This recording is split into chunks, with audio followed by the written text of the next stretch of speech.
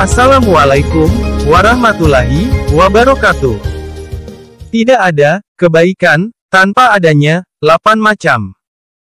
Ali bin Abi Talib radhiyallahu anhu berkata, tidak ada kebaikan di dalam solat tanpa adanya khusyuk. Tidak ada kebaikan dalam puasa tanpa menahan percakapan yang tiada berguna. Tidak ada kebaikan dalam membaca Al-Quran tanpa memikirkan isinya. Tidak ada kebaikan dalam ilmu tanpa warak.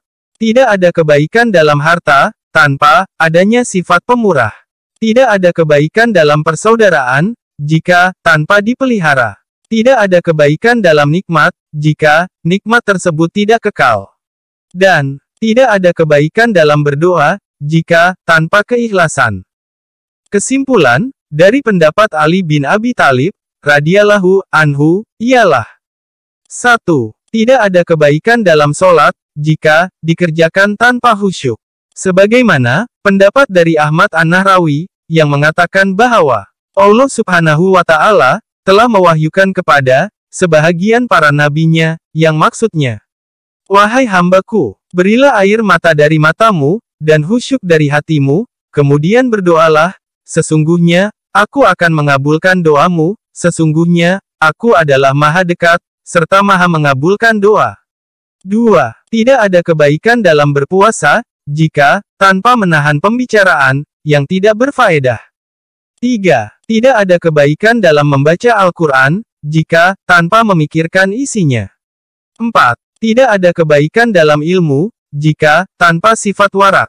5. Tidak ada kebaikan dalam harta, jika, tanpa sifat pemurah. Rasulullah Shallallahu Alaihi Wasallam bersabda, tidaklah, seseorang itu membuka pintu, untuk memberi sedekah atau bersilaturahim, melainkan Allah menambahkan kebajikan yang banyak.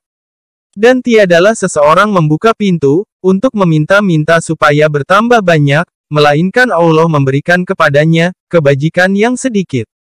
Hadis riwayat Baihaqi. 6. Tidaklah ada kebaikan dalam persaudaraan jika tidak dipelihara. 7. Tidaklah ada kebaikan pada nikmat jika nikmat tersebut tidak kekal.